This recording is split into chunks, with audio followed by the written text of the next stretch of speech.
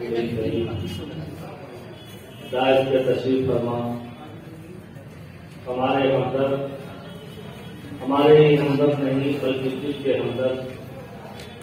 Doctor Syed Ahmed Khan साहब, जिन्होंने पढ़ाई राजस्थान से की, कैरियर दिल्ली से शुरू किया और पूरे हिंदुस्तान में सिर्फ़ की रहनुमाई कर रहे हैं।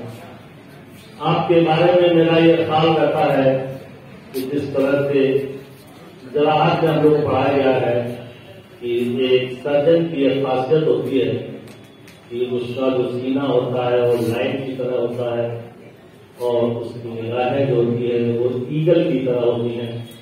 मैं हमेशा ये कहता हूँ कि सैयद अहमद खान साहब की निगाहें जो है, वो ईगल आई है। ये पूरे हिंदुस्तान में क्या और हिंदुस्तान के बाहर? ये देखते हैं कि बेईमानी के फरोग और महबूब के लिए कौन सा ऐसा शख्स है जो फ़ायदेमंद हो सकता है?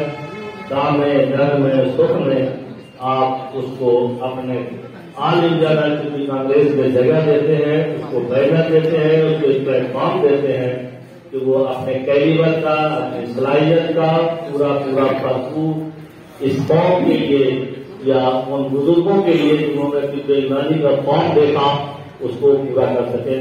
मैं ये जो प्रोग्राम में मुझे बुलाया गया, मैं इससे शुक्रगुजार हूँ। कि इस तरह इस प्रोग्राम में बुलाया गया, हालाँकि बुलाया गया मेरा ये घर है, जहाँ से मैंने ड्यूटी के अंदर पहले शुरू किया। आप ही के साथ, डॉक्टर इकबाल साहब, जो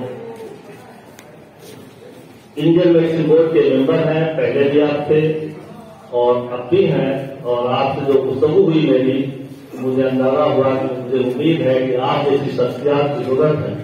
इसलिए कि नेचर का निज़ाम है कि सीनियर जाता है, जूनियर आता है रिप्लेसमेंट होता है और हमें जो है रिप्लेसमेंट की तलाश होती है। ताकि हमारा कारवां जो है वो आगे बढ़ता है।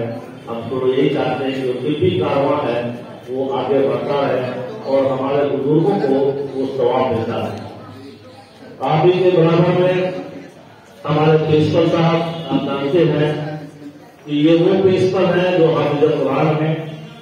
आप कॉलेज का इंतज़ाम भी देखते हैं और रमज़ान के महीने में आप तरावी भी बढ़ाते हैं। आप हमारे वो प्रिंसिपल हैं जिसको कहते हैं हाफिज का पूरा फ़ायदा उठाते हैं। अगर कोई गवर्नमेंट का जीव होता है, एक देता तो पूरा पूरा आप रख लेते हैं। अगर मैं पूछता हूँ तो as it is line by line ये मुझे सुना देते हैं। ये हाफिज होने का एक बहुत बड़ा ये फ़ायदा होता है। आपकी रहनुमाई में जिस तरह से ये कॉलेज को पा रहा है, उसके आप सब लोग गवाह हैं, आप लोगों ने देखा है। और इसी के साथ मैं कहूँगा कि जो भी फरोग होता है, वो अल्लाह के निज़ाम से होता है। हम लोग उसके एक पार्टिसिपेट होते हैं। या खुश नसीब होते हैं कि अल्लाह ताला हम सब के ज़रिए वो काम करा रहा है।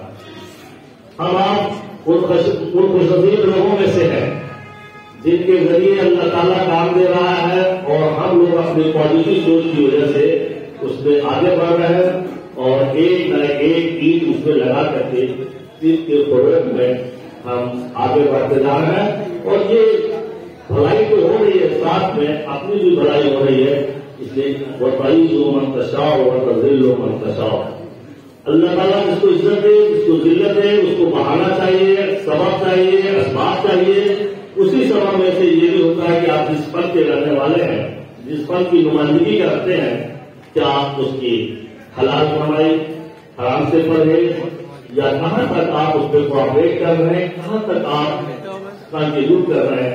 जैसा कि लोगों ने कहा, हमारे दादी भाई ने शायद कहा ये जितना हम लोग दूध दूध मिठाई जो भी चीज़ें हमें दिखाई दे रही है, वो सिर्फ़ बेईमानी की वजह से दिखाई दे रही है। तो क्या हमारा कंट्रीब्यूशन सिर्फ़ बेईमानी को है? क्या हम भी कुछ दे रहे हैं? क्या हम भी उसके लिए कुछ कर रहे हैं? इस पर भी हमको सोचना चाहिए। आपके बराबर में हमारे अशरफ साहब। अशरफ से भी आप वाकिफ हो सकते हैं जिसके नाम अशरफ हो, वो अशरफ साहब की से आपका वाबस्ता है। और आप ही के भाई के सैयद मौजूद अशरफ साहब का अंदर में मैंने पीजी किया है। वो एक अलग ही शख्सियत है, अलग ही खानदान है, अलग ही पहचान है। इन्होंने भी जो दिल की फरोग दे रहे हैं। हालाँकि इन्होंने मौका तलाश किया अपनी बात को कहने के लिए, इलाहाबाद में। हो सकता है कि चूँकि ये अशरफी है, जगह मौका मुनासिब देकर अपनी बात कह रहे हैं। अगर ये चाहते तो अपनी बात मुझे दिल्ली में लखनऊ में ही कह देते। इसलिए कि मेरा गूगल जो है इन्हीं की क्लिनिक की तरफ़ होता है।